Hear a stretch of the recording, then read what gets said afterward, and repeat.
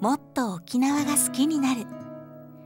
この番組は沖縄の隠れたおすすめスポットを紹介する沖縄クリップがお届けします。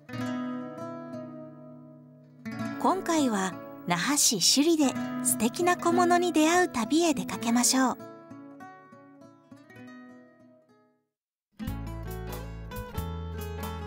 沖縄唯一の鉄道沖縄都市モノレール線。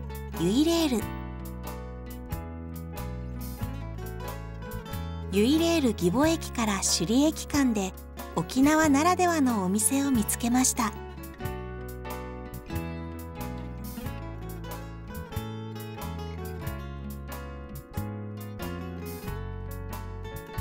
店内には沖縄で採れる石で作られた置物がたくさん並んでいます。この置物は石獅子といって古くからうちなんちに親しまれてきた彫刻の一つ。何とも言えない表情がとってもキュートだと思いませんか？この手彫りの石獅子は沖縄の魔除けシーサーのルーツとも言われています。そんな伝統の石獅子をアレンジしながら今でも彫り続けている方がいます。スタジオデージンの彫刻家和歌山大地さん。お城や寺院などの獅子にあるような精巧な造形はないけれど願いだけで純粋に作られ体温を感じる。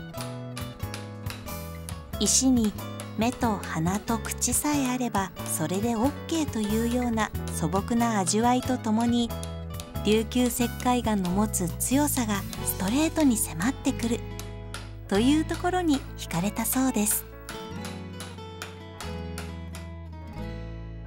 和歌山さんが生み出す石獅子は個性豊かで愛らしい表情を持っています。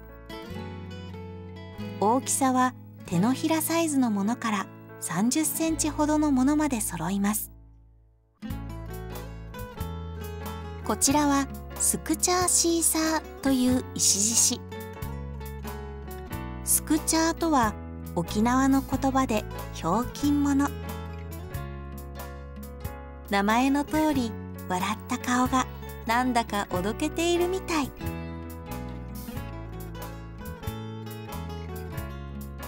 他にも誠実な人という意味のマクトゥーシーサー。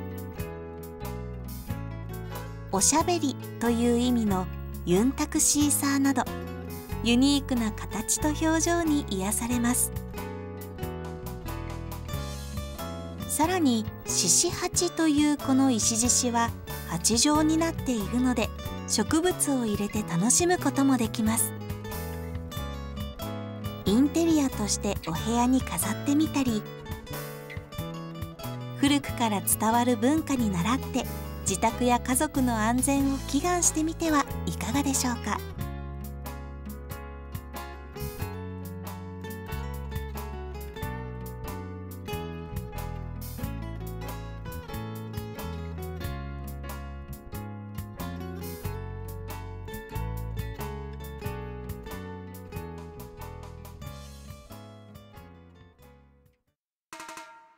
さらに散策を続けていると首里城公園の近く竜丹通りでいい香りに包まれているお店がありました。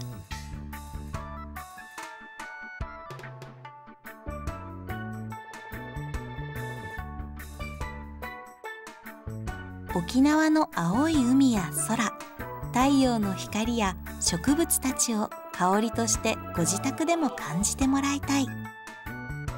そう願い。2016年に石鹸の専門店がオープン。オレンジやピンク青や黄色。見た目にも色鮮やかで見ているだけでも心が高鳴ります。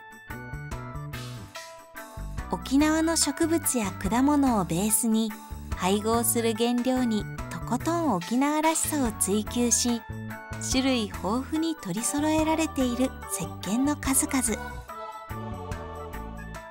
香り付けに使われているのは沖縄素材のシークワーサーや月桃ローズマリーやラベンダーなど天然由来のエッセンシャルオイル。自然な香りは気分をすっきりさせてくれます。またキューブタイプのギフトセットはお土産にぴったり。好きな石鹸を自分なりに組み合わせて送ることができます。寝室やクローゼットなどに置くだけでもいい香りが広がりおすすめ。こちらの洗顔石鹸マリンクレイは人気も高く多くの人たちに喜ばれています。古くから天然の美容素材として愛されてきた沖縄のクチャを原料に作られたマリンクレイは芳醇な美容成分とミネラル分がたっぷり含まれているので健やかな肌へと導いてくれるそうです。他にも美容液があふれ出す保湿ハンドクリーム。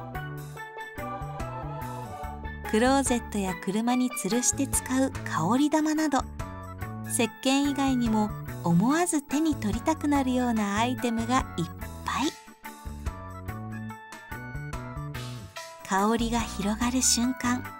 沖縄での思い出がよみがえってくるように。そしてまた沖縄を訪れてほしい。という思いが込められています。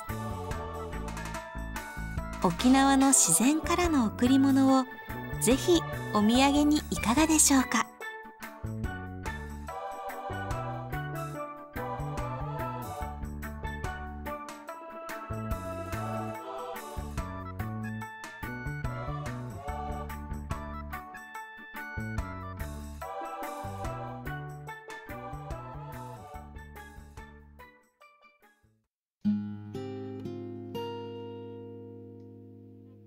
街を散策していると素敵な姉妹が作る伝統を日常に取り入れた面白い小物を見つけました。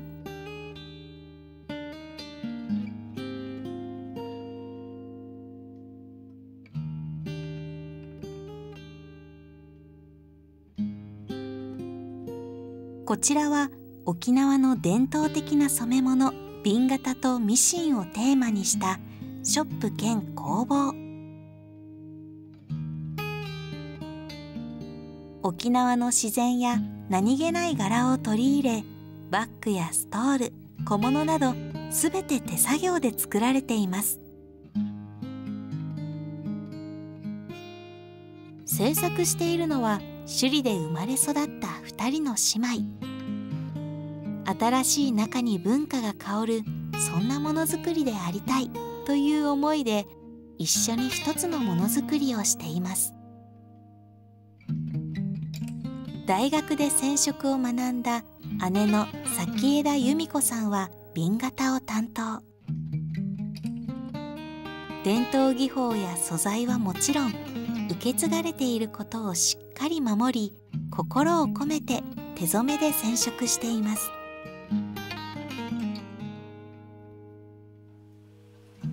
高校で服飾デザインを学び東京でアパレルの仕事をしていた妹の比嘉優子さんはデザインと縫製を担当。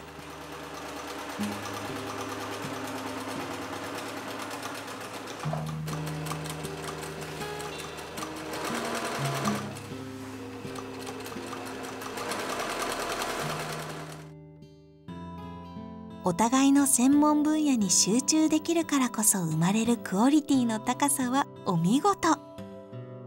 肌触りと通気性のいい天然繊維や発色の美しい絹。使うほどに味わいの出てくる麻など素材選びにもこだわりがあります。